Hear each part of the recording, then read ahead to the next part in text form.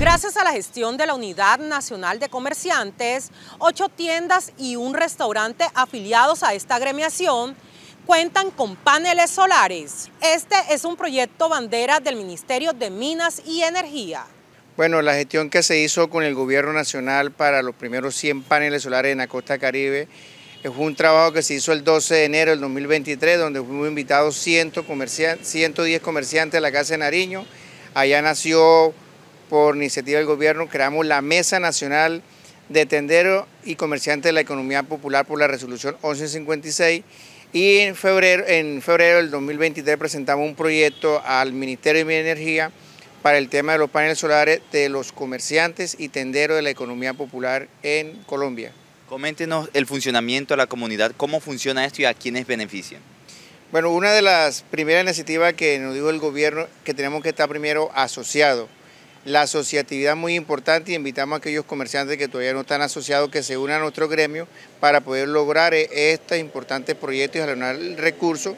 Y hoy en día se está viendo los frutos aquí en la ciudad de Bayupar, donde jalonamos nueve proyectos de paneles solares que se benefician los tenderos y restaurantes y expendio de carne y otros negocios pequeños en la ciudad de Bayupar. Luego de ser aprobados los 100 proyectos para la costa caribe, eh, nosotros como asociación hicimos una convocatoria a nuestros asociados que hacen parte del gremio, se escribieron 23 tenderos y comerciantes a, esta primera iniciativa, donde logramos que de los 23, FENOGE seleccionó solamente 9 para Bayupar. Bueno, uno de los requisitos que exige el Ministerio de Energía a través de FENOGE es que debe ser extracto 1, 2 y 3 y logramos tener uno en el barrio del Carmen, un tendero, barrio Villa Rosario, otro tendero, Organización Brasil, eh, Álamo 1, Villa Miriam, eh, Garupal, El Amparo y La Nevada. Esos son los nueve proyectos que para Bayupar. Bueno, hay una convocatoria que se van a hacer donde van a ser invitados los 100 beneficiarios de la costa caribe.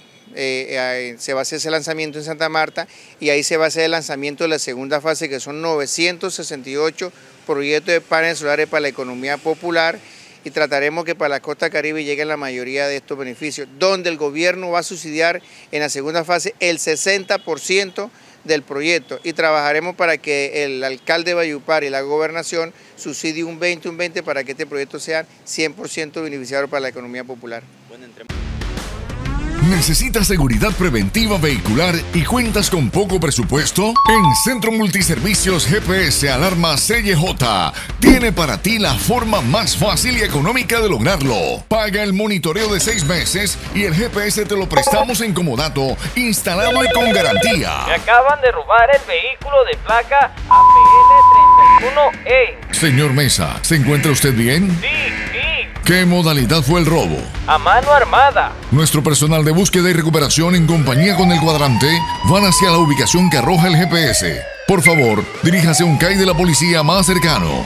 Esté seguro y espere nuestro llamado.